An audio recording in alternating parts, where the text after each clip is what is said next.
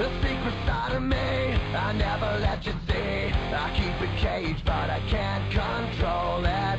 So stay away from me, the beast is ugly. I feel the rage and I just can't hold it. It's scratching on the wall, in the closet, in the hall. It comes awake and I can't control it. Hiding under the bed, in my body, in my head. Why won't somebody come and save me from this?